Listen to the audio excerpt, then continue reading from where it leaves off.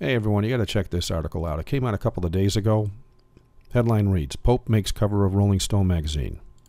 All right, there you have him right there on the cover. And it says right here just last month, the Pope was named Times Person of the Year and featured on that magazine's cover for the second time in 2013. So both Rolling Stone magazine and Time magazine are global magazines, right? They're major, major magazines. And look what else it says here. In less than a year since his papacy began, Pope Francis has done much to separate himself from the past popes and establish himself as a people's pope. And the reason he's established as a people's pope is because the media is pushing him as such. I mean, he has literally flooded the media, whether it's on paper or on screen. He's all over the place as a people's pope. Everybody loves him all over the place, right? So why is this a problem? Well, first of all, Rolling Stone magazine is one of the most evil magazines on the planet. Yet this so-called man of God's on it, right? And this magazine promotes all sorts of satanic rock bands, and some of their covers are X-rated, to say the least.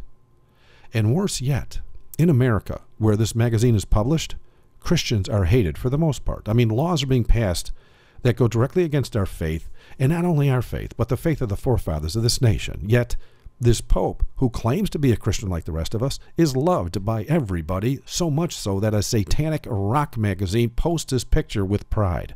So I got to ask the question why is it Christians are being killed on a regular basis on earth to the tune of one Christian martyred for their faith every two minutes, yet this Pope, who also claims to be a Christian, is celebrated as the Man of the Year by Time magazine and a superstar by Rolling Stone? I mean, since he claims to be a Christian like the rest of us, why isn't he hated right along with the rest of us? Well, it has to do with prophecy. Revelation 13:3. Right here. It says, And I saw one of his heads as it were wounded to death, and his deadly wound was healed, and all the world wondered after this beast, right? Check out where that word is. And. The wound is healed first, and then all the world wonders after it, right? We all know about the wound. If you go to the, uh, where is it here? Let me um, get this back up.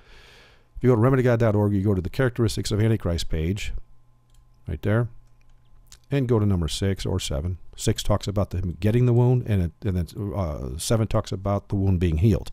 The wound started being healed in 1929, as we all know, about Mussolini and Gasparri in the Lateran Palace signing the pact that allowed the Vatican to become a state and church once again. So that's more or less, you know, history. We, this is fact. And so, since Revelation 13:3 says what it says, and says that you know that it's uh, the deadly wound was healed, and then all the world wonders after the beast. I mean, it's pretty plain. The fact that all the world, because this is a global magazine, and so is Time magazine, and so is all the media, and all the newspapers, and all the internet. I mean, it's just everybody's talking about this guy all over the world. So, what does this mean? Well, it's just common sense. The fact that all the world is right now wondering after this Pope, as if he's a superstar or something, confirms the wound is healed. So, that being said, we have precious little time left to proclaim the loud cry. And I hope and pray that you are doing all you can to share your faith, because he that gave you those talents to actually share your faith is about to return to see if you buried that which he gave you. Hope and pray that you are blessed by what was shared in this video. Please subscribe, please share it with as many as possible, and thank you for watching. God bless.